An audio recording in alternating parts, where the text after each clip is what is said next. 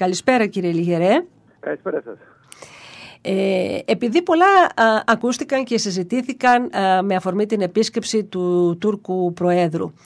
Ε, εσείς ε, ποιο συμπέρασμα βγάζετε μιας και τώρα ε, έχει περάσει στην ιστορία πια αυτή η επίσκεψη; Έχουμε δει τι έγινε και σήμερα στην περιοχή της Θράκης Νομίζω ότι ο, ο στόχος της όλης της επίσκεψης από την πλευρά της Τουρκίας τουλάχιστον ήταν να ανακοινήσει το θέμα της Θράκης, της μειονότητας, το θέμα της ονομασίας και να παρουσιαστεί τουλάχιστον ο κ. Δογκάν ως δικηγόρος ε, της μειονότητας. Ε, διότι παρόλο που προσπάθησε να κρατήσει τους τύπους είδαμε ότι είχαμε μια διαφοροποίηση σε σχέση με το μικρόφωνο. Νομίζω ότι το, το είδατε και εσείς. Ναι, ναι, και αυτό, σημαίνει, ναι, αυτό σημαίνει πρακτικά ότι ε, επανέλαβε αυτό που είχε κάνει ως Πρωθυπουργός στη Θράκη και παρουσίασε βέβαια και το θέμα της συνθήκης Λοζάνης ως κάτι το οποίο πρέπει να αλλάξει διότι καταπατά την Τουρκία. Σε όλα αυτά βέβαια δεν επισήμανε ότι είναι η Τουρκία που καταπατά τη συνθήκη της Λοζάνης, ότι είναι η Τουρκία από μόνη της που λέει ότι ε, την εκβιάζουν άλλες χώρες για να ε, απορρίψει τελικά τη συνθήκη Λοζάνης και ε, προσπαθούν να τις επιβάλλουν τις συνθήκες της Ευρών. η Ελλάδα κράτησε τους τύπους και εδώ είναι το παράξενο της υπόθεσης με την έννοια ότι εμείς ε, λειτουργούμε ως δικηγόροι της συνθήκης της Λοζάνης η οποία μας καταπατά και είναι απαράδεκτη σε πολλά σημεία και η Τουρκία που είχε ωφέλη από την συνθήκη της Λοζάνης προσπαθεί να παρουσιαστεί ως θύμα. Ναι. Ε, σε αυτό το παίρνιο εντυπώσεων ε, νομίζω ότι δεν είδαμε κάτι το καινούριο, απλώς ε, προσπάθησε ο κ. Εντογκάν να πάρει πόντους. Νομίζω ότι υπήρχε μια καλή άμυνα και από τον πρόεδρο και από τον πρωθυπουργό για το θέμα της ορολογίας και για το θέμα το ποιος έχει κάνει τι σε αυτή τη διαδικασία, αλλά σε κάθε περίπτωση αυτά που ακούσαμε ε, αποδεικνύουν ότι δεν ξέρει καλά τη συνθήκη Ζάνης, ότι μπερδεύει τα δεδομένα του ΕΔΑΔ με τη συνθήκη Ζάνης και ότι το γεγονός ότι θέλει να την επικαιροποιήσει, όπως λέει, για να χρησιμοποιήσουμε την έκφρασή του, ενώ στην πραγματικότητα είναι θέμα ερμηνείας, ε, είναι πολύ απλά απαράδεκτο. Ναι. Ε, και κάτι ανέφικτο με δεδομένα τα, τε, τις σημερινές συνθήκες και τις ε, χώρες και δεν υπάρχει και, και, λόγος. Ε, Διότι πάνω και παρουσιάζεται η συνθήκη σαν ναι. να είναι διμερή ενώ στην πραγματικότητα είναι μια συνθήκη με πολλές χώρες και οποιαδήποτε αλλαγή και να ήθελε να κάνει η Τουρκία και η Ελλάδα θα έπρεπε να συμφωνήσουν και όλες, όλα ναι, τα άλλα. Μέχρι και η Ιαπωνία ας πούμε, θα έπρεπε να κληθεί σωστά, σωστά. που ήταν από τις χώρες... Μια πολύ καλή παρατήρηση ε, γιατί υπάρχει βέβαια και η Ρουμανία και ναι. ε, ε, διάφορες χώρες που έχουν υπογράψει και μας ξαφνιάζει μερικές φορές όπως η Ιαπωνία που ήταν σε αυτές τις συνθήκες γιατί και στην Λονζάνη και στην Σευρών ήταν η Ιαπωνία. από την άλλη δεν υπήρχε ούτε η Ρωσία ούτε η Αμερική, για ναι. τις οποίες ε, δεν μιλάμε, ενώ μερικές φορές λέμε ότι μας λένε να τις στηρίσουμε. Άρα, για να είμαστε ξεκάθαροι σε αυτό το πλαίσιο, μιλάμε για μια πολυμερή συνθήκη σε διεθνές επίπεδο και δεν αλλάζει τόσο εύκολα και όταν έγιναν κάποιες αλλαγές έγιναν ας πούμε με την συνθήκη παρεσίων την οποία πάνω ο κύριος Ερντογκάν την ξεχνάει, ναι. ενώ είναι ε, με τη συνθήκη παρεσίων που τα δωδεκάνησα εντάχθηκαν στην Ελλάδα. Στην Ελλάδα. Ε, πώς κάθε χώρα ερμηνεύει την ιστορία κύριε Λιγερέ. Πάντως θα πρέπει να πούμε ότι ήταν ίσως η πρώτη φορά, γιατί βλέπουμε συνήθως ότι υπάρχει ένα α, τυπικό στις συναντήσεις αρχηγών κρατών, πρωθυπουργών, προέδρων κτλ. Ε, εδώ είδαμε ότι ε, σε αυτήν την επίσκεψη ε, δεν κρατήθηκε το τυπικό, το πρωτόκολλο, δηλαδή ε, βγήκαν προς τα έξω μια πράγματα. Αλλά όντως δεν, ναι. δεν επιτεύχθη. Ναι, δηλαδή η δημόσια εικόνα ξέφυγε από τα στερεότυπα που γνωρίζουμε, που γίνονται κάποιες έτσι πολύ λιτές ε, δηλώσεις. Εδώ υπήρξαν εκατέρωθεν ε, εντάσεις, σε ένα βαθμό βέβαια. Ε, δεν ξέρω... πολύ το δίκιο, αλλά για να είμαστε ειλικρινείς, νομίζω ότι αυτές οι εντάσεις υπάρχουν όντως. Απλώς συνήθως τις καλύπτουμε έντεχνα και διπλωματικά. Ναι. και εδώ φάνηκε από τις δύο πλευρές ότι ε, ο ένας διεκδικεί κάθε φορά κάτι που μπορεί να είναι από το παράξενο έως το παράλογο και από την άλλη πλευρά εμείς μένουμε στο διεθνές δίκαιο. Άρα δεν υπήρχε καμία αλλαγή. Απλώς εκδηλώθηκαν επίσημα μπροστά σε όλους. Και αυτό νομίζω ότι είναι ενδεικτικό. Και δεν ξέρω αν κερδίσαμε, α, α, κερδίσαμε κάτι από αυτή την επίσκεψη, γιατί και η στάση του Τούρκου Προέδρου δεν νομίζω ότι ξέφυγε από τα γνωστά, από, από όχι, ό,τι τον έχουμε συνηθίσει. Αυτές τις συναντήσεις, ε, στη στρατηγική δεν κερδίσαμε τίποτα, στη διπλωματία δεν χάσαμε τίποτα. Άρα θα σας έλεγα ότι σε πολιτικό επίπεδο είναι άκρος ουδέτερο, Απλώς κάθε φορά κάποιος προσπαθεί να το ερμηνεύσει με ένα θετικό τρόπο. Νομίζω ότι αυτή η συνάντηση δεν είχε κανένα όφελος και από τη στιγμή που δεν έχει κανένα όφελος δεν υπήρχε λόγος να πάρθει πρωτοβουλία. Ναι. Ε, αυτό όμως που κρατώ στο τέλος είναι ότι ε, κανένας από τους Έλληνες ε, και τον πρόεδρο και τον πρωθυπουργό δεν έκανε πίσω σε ζητήματα που είναι σημαντικά όπως ήταν και η Αγία Σοφιά ε, Απλώς ε, κανένας βέβαια δεν έκανε καμία αναφορά για το θέμα της γενοκτονίας. Ναι. Γιατί το πρόβλημα είναι ότι όταν αφήνουμε ε, τον πρόεδρο της Τουρκίας να περιφέρεται έτσι ελεύθερα και να δημιουργεί εντυπώσεις, λες και κάνει πασαρέλα, ε, χωρίς όμως εμείς να παίρνουμε πρωτοβουλίες, σημαίνει ότι είμαστε συνεχώς σε άμυνα και κάθε φορά που πετάει κάτι πρέπει να απαντήσουμε σωστά, να το έχουμε σκεφτεί από πριν. Ε, νομίζω ότι δεν υπήρχε κανένας λόγος να μην θέσουμε μερικά ζητήματα σημαντικά.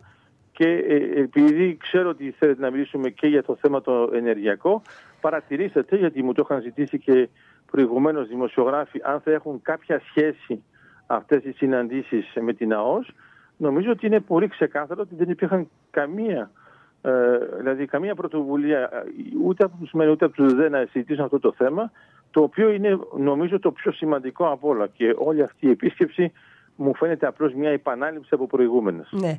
Ε, μιας και περάσατε λοιπόν και σαφώς υπάρχει ε, το θέμα της τάσης της ε, Τουρκίας όσον αφορά ε, εδώ τη, τη, η ενέργεια καταλαβαίνετε και όταν υπάρχει ένα, μια προοπτική ε, κέρδους δισεκατομμυρίων στην περιοχή μας σίγουρα κανέναν δεν αφήνει αδιάφορο το θέμα αυτό. Θα δούμε και, έτσι, και με την Κύπρο όμως παρόλο που έκανε έτσι κάποιες προσπάθειες ή λεονταρισμούς δεν προχώρησε σε κάτι συγκλονιστικό. Εντελώς, εντελώς. Και ε, νομίζω ότι απλώς μείναμε ε, στα θεωρητικά και στα προφορικά και όταν προσπάθησαν να κάνουν κάτι επί του πρακτέου, ε, απλώς το υπενθυμίζω, με τα αεροπλάνα είναι το αεροπλανοφόρο George Bush των Αμερικανών που τους έσβησε ηλεκτρονικά και σταμάτησε όλη η ναι. διαδικασία. Πολύ απλά. Υπήρχαν και δύο φρεγάτες ε, γαλλικές στην περιοχή που εντελώς στοιχεία και οι δύο φρεγάτες και το αεροπλανοφόρο ήταν στην περιοχή όταν η Τουρκία προσπάθησε να πει κάτι και ξαφνικά όταν τελείωσε έφυγαν.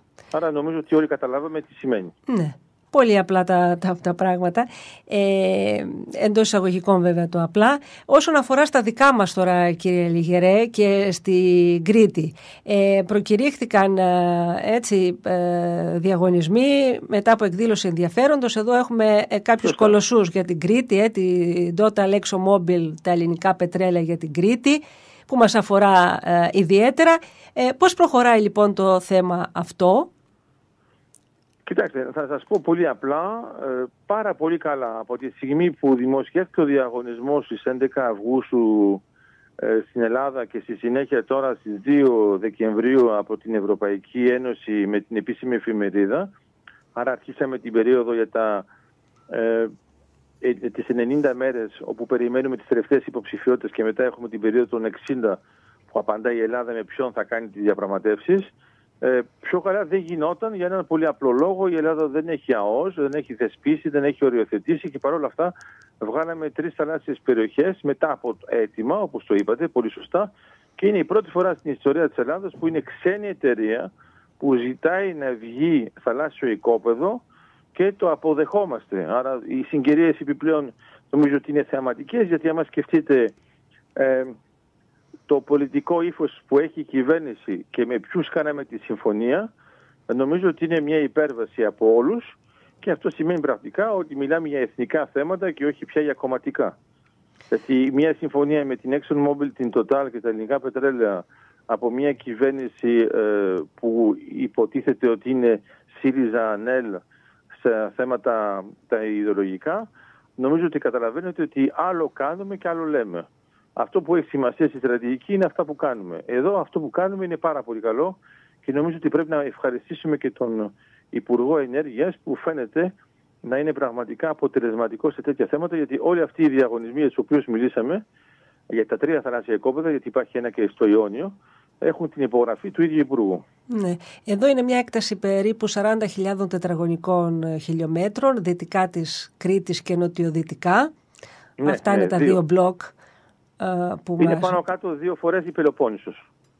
Είναι μεγάλες περιοχές βέβαια. Είναι τεράστιες. Ε, ξέρετε, ε, το πείτε, ναι. ναι ε, όταν το λέμε τώρα αυτό με εκμετάλλευση υδρογονανθράκων, ε, ξέρουμε τις εξέντρες που έχουμε δει. Ε, ούτως ή άλλως δεν θα είναι και ορατές από την Κρήτη ε, Σωστά, ούτε καν ορατές. Ναι. Ούτε καν ορατές. Ε, προκύπτουν βέβαια και άλλα ζητήματα έτσι και περιβαλλοντικά και... Ε, ε Κοιτάξτε, ούτως δεν γίνεται τίποτα χωρίς περιβαλλοντική μελέτη. Ναι. Αλλά για να είμαστε πιο συγκεκριμένοι, γιατί καταλαβαίνω ότι θέλετε να αναφερθούμε σε αυτό, εδώ μιλάμε πιο πολύ για φυσικό αέριο παρά πετρέλαιο. Άρα το φυσικό αέριο ε, ξέρουμε πρώτον ότι έχει μηδενική διαλυτότητα στο νερό.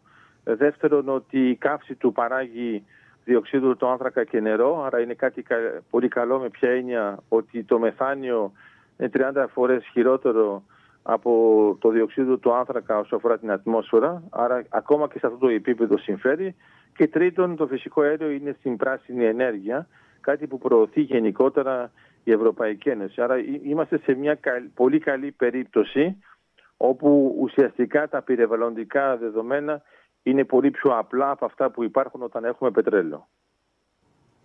Ε, ναι, ναι ε, ξέρετε, το, το είπα λίγο νωρίτερα αυτό με το θέμα το περιβαλλοντικό γιατί ε, πάντα σε τέτοιες πολύ μεγάλες επενδύσεις ε, προκύπτουν και ζητήματα τέτοια και μια ανησυχία που καλό είναι έτσι να διευκρινίζονται κάποια πράγματα σωστά, σωστά. μελλοντικά ώστε να μην... Όχι, όχι, κοιτάξτε, είναι απλά τα πράγματα και επειδή μιλάμε ε, έτσι πολύ ξεκάθαρα. Ε, αυτό που μας ενδιαφέρει πρώτον είναι οι άνθρωποι. Μετά είναι το θέμα του περιβάλλοντος σε σχέση με τους ανθρώπους και με τα ζώα και μετά είναι οι επενδύσεις. Αν οι επενδύσεις ε, ανατρέπουν τα δεδομένα της φύσης και των ανθρώπων δεν τις έχουμε ανάγκη. Εδώ απλώς η αυτή η υπόθεση είναι πολύ πιο απλή ειδικά επειδή μιλάμε για φυσικό αέριο και γενικότερα γιατί και η Ευρωπαϊκή Νομοθεσία προτιμάει αυτή την εκδοχή σε σχέση με το πετρέλαιο για το θέμα της ε, έλλειψης ρηπών και το βλέπουμε γενικότερα ειδικά στα νησιά γιατί αυτό πρέπει να, να συγκρίνουμε. Δηλαδή, όταν μιλάμε για κάτι που έχει σχέση με το περιβάλλον, το συγκρίνουμε με αυτό που θα έρθει ή με αυτό που υπάρχει; Γιατί άμα είναι με αυτό που υπάρχει, προς παρόν η Κρήτη εφοδιάζεται μόνο και μόνο με καύση πετρελαίου. Ναι. Ναι, ε, είναι ένα γνωστό. Περιβαλλοντικά, μόνο κακό. Πρόβλημα και αυτό, βέβαια. Είναι ένα γνωστό πρόβλημα και το κόστος και. Και αυτό το πρόβλημα μπορεί όντως να λυθεί με την χρήση του φυσικού αερίου και μπορεί να λυθεί βέβαια και με το Ευρωάζια Interconnector, το οποίο θα συνδέσει την Κρήτη με την Κύπρο και το Ισραήλ, όπου θα έχουμε μια μεταφορά ηλεκτρικής ενέργειας ε, χωρίς να υπάρχει το θέμα της καύσης τοπικά. Άρα έχουμε διάφορους τρόπους να το χειριστούμε και νομίζω ότι πρέπει να το συγκρίνουμε με τα δεδομένα που έχουμε. Συν βέβαια το γεγονός ότι η Ελλάδα αγοράζει σχεδόν ένα δισεκατομμύριο ευρώ υδρογονάφτες κάθε χρόνο. Ναι. Άρα φανταστείτε ότι αυτό θα είναι μια εξαιρετική ελάφρυνση που παράγουμε εμείς. Πολύ σημαντική. Ε, θα είμαστε σε επικοινωνία κύριε Λιγερέ γιατί οι εξελίξεις είναι μπροστά. Ε, να, να, σχολιάσουμε και πάλι οτιδήποτε νεότερο και όποια ε, νέα ε, εξέλιξη προκύψει στο θέμα αυτό. Εμείς θα σας ευχαριστήσουμε πάρα πολύ για την ε, επικοινωνία εγώ, μας εγώ. μαζί σας. Θα έχουμε την επαφή γιατί ξέρετε επειδή το 5% των υλικών απολαβών πηγαίνει κατευθείαν στην περιφέρεια η περιφέρεια Κρήτης με την Πελοπόννησο θα πρωτοσταθήσουν σε αυτά τα θέματα. Άρα σίγουρα θα. Βέβαια, θα, έχουμε ε, να, να πούμε πολλά. Σωστά. Σας ευχαριστούμε πάρα πολύ. Και εγώ, να καλά. Καλή συνέχεια και εσείς. Γεια σας. Επίσης.